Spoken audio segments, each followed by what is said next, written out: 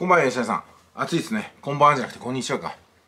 いいじゃないですか。エイリアンパソコン新しいの届いて。いや、調べたんですけども、結構安いですね、今ね。半導体が不足してる割には、結構スムーズに手に入るんだなと思いましたけども。まあ、あの、あれですかね。デルの、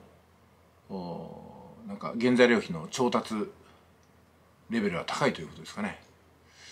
まあ、あの、時を前後して、私の方ではちょっと YouTube チャンネルがまたね、制限を食らいましてね。1週間利用停止。でこの影響は3ヶ月続くということでまた人屋に閉じ込められることになりました。今日からね1週間なんでまた数百本の動画がサブアカウントでアップロードされて1週間後に一気に メインアカウントにそれがぶち込まれるってことになるんですけどもこの作業ももう慣れましたね。まあなんせそのいろいろやってますけども私の場合すごく危なっかしいっていうかね YouTube のアカウントが終わったら基本的に終わりですからね。だから誰かみたいに YouTube のアカウントもあらゆる方面で作らせませんみたいな個人攻撃食らっちゃうとまあ認知も察知もいかないのかなと思いますけども同時にですねやっぱりこの何ガーシー 2FC2 の創業者の高橋さんって方があのガーシー2っていうね FC2 のなんかちょっとアリウ版を作ってそこではもう一切の何？発言制限をかけないらしいんですよ。で、サーバーは、あの、アメリカですしね。で、この高橋さんっていうのは、FC2 を作ったことによって、その、わいせつとか陳列幇助かなんかで国際指名手配されてるんですよね。とんでもない罪だなと思いますよね。国際指名手配ですよ。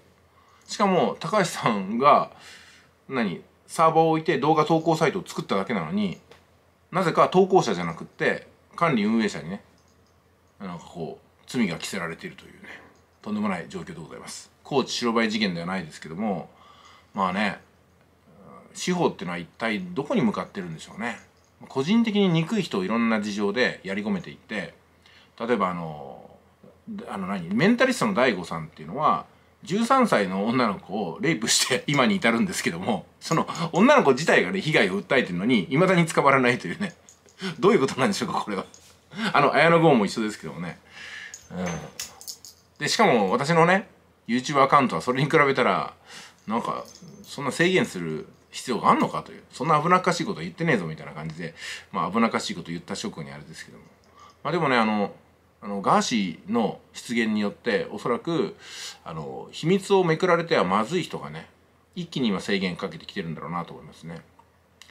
あのやっぱこう秘密を持つ人っていうのはそれがね個人的ななんか利益とか楽しみだったらいいんですけども、誰かに不利益を押し付けてっていう風なまあ権力による暴力ですよね。うん、そういう形になるとさすがに一般市民は看過できないのかなとルールを守ってる我々が高知白バイ事件みたいにね悲劇を受けて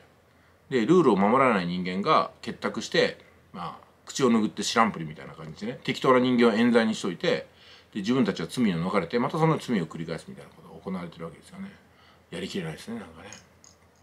でね私はなんかねこう思うんですけどもあの権力はね暴力に勝る暴力だと思ってるんでその権力を打ち倒すのはもう個人的なねこの、まあ、まさに暴力なんじゃないかなと思うんですよ。北斗の剣じゃないですけども結局は人間対人間がその向かい合った時にねあのパンチの強いやつが結局支配するんじゃないかなと思いますしそういう時代が来るんじゃないかなと思うんですよ。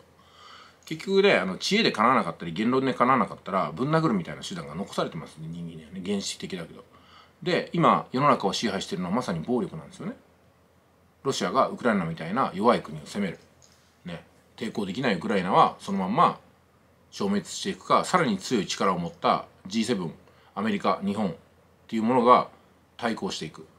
まあ、こんな形でなんかね妙な感じで進むけども平たく言ったらあれでしょ？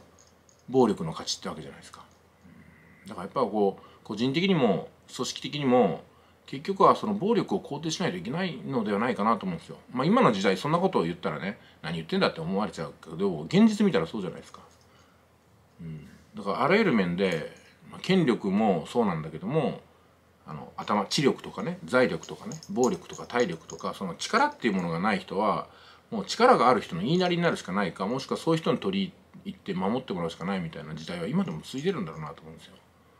その一つのね象徴的な例としてその YouTube の制限を私はねこの権力によってかけられてるというねこんな理不尽なことがあって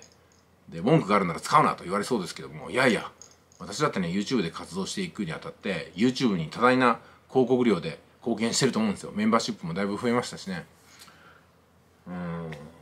なんかねブチるだけの動画になりましたけども。とにかくこの動画からあっていうか前回吉谷さんから送ってもらった動画からまたサブアカウントに上がることになりましたんでよろしくお願いします。ということでサブアカウントの差で行ってみたわけです。いってらっしゃい。